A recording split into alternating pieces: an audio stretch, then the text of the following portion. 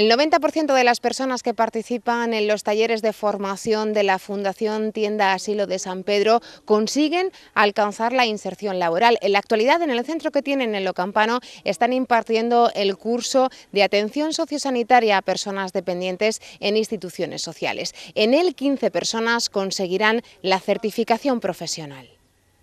Recientemente se firmó un acuerdo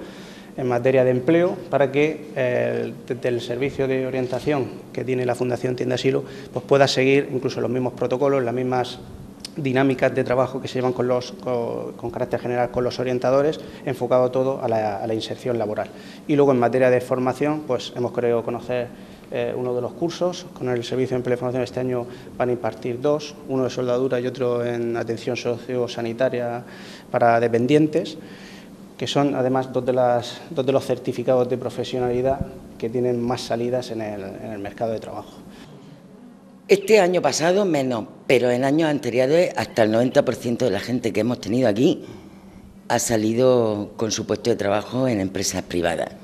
sobre todo en soldadura. Por ejemplo, mm, chicos jóvenes que desde a lo mejor 11, 12 años han empezado con el consumo de drogas, etcétera, etcétera, lo hemos tenido